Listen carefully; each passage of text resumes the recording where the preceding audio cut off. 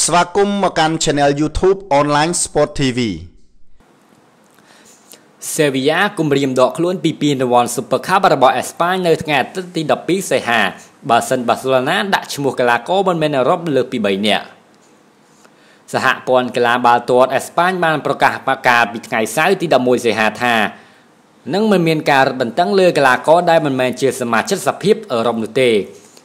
ព្រោះវាបានចាប់ទុកការប្រកួតថាមិនមែនលក្ខណៈអាជីពមានតែកីឡាករមិនមែនសហភាពអឺរ៉ុបចំនួន3នាក់ប៉ុណ្ណោះដែលត្រូវបានអនុញ្ញាតឲ្យចូលរួមក្នុងការប្រកួត La Liga នីមួយៗវាត្រូវបានគេគិតថាពានរង្វាន់ Super Cup របស់អេស្ប៉ាញគឺដូចគ្នាប៉ុន្តែ Sevilla បាននិយាយថាពួកគេនឹងជំទាស់ទៅនឹងការប្រកួតមិនសមរម្យការប្រកួតប្រចាំឆ្នាំនេះជាចំនួនរវាងម្ចាស់ជើងឯក La Liga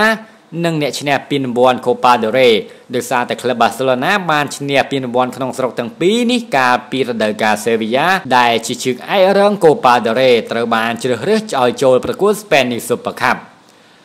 ការប្រកួតនេះនឹងធ្វើឡើងនៅប្រទេសម៉ារ៉ុកនឹងធ្វើឡើងតែមួយជើងជាលើកដំបូងសេចក្តីថ្លែងការណ៍របស់ក្លឹប Sevilla បាននិយាយថាពួកគេមានការភ្ញាក់ផ្អើលដោយសេចក្តីថ្លែងរបស់សហព័ន្ធបាល់ទាត់អេស្ប៉ាញ24ម៉ោងមុនការប្រកួត Super Cup អរគុណចំពោះការទស្សនានិងស្ដាប់របស់លោកអ្នកសូមជួយ Subscribe Channel YouTube របស់យើងខ្ញុំ Online Sport TV